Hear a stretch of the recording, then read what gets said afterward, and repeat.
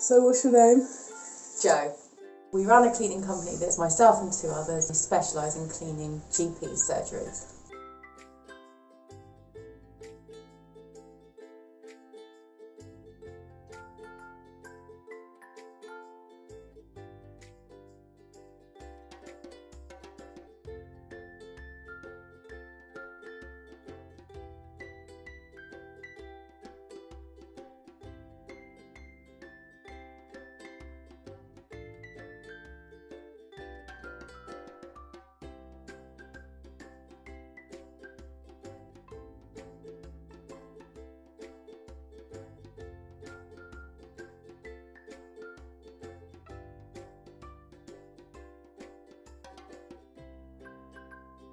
They're really clever.